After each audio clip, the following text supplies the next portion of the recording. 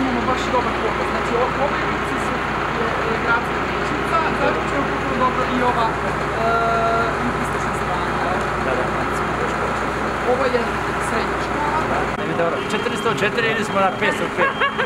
505! Crto, crto! crto!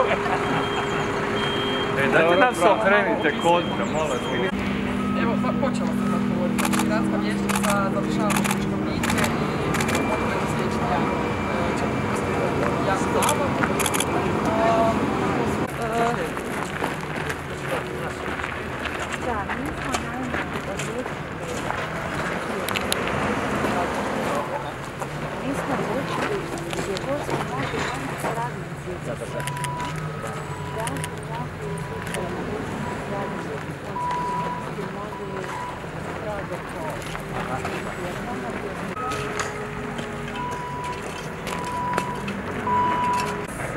Napravili kompletno zajedno s konzervatorskim u Sisku, ali i sa svima kompletnu dokumentaciju za sve zgrade. Tako Da, za ovo, cijeli ovaj centar koji imamo, znači sve je dokumentirano, imamo i istražne radove, e, znači da se vide i počelja kako su bile ranije i sve.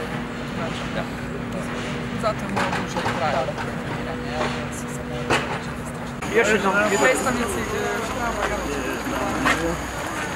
e, Zering, živjeli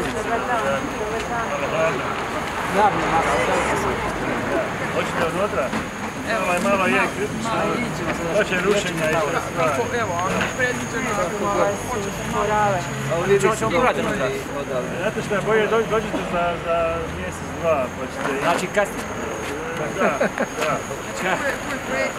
Nemojte o tom, to je dovoljno. Da, da, da, da, nećemo više da. Nešto se radi.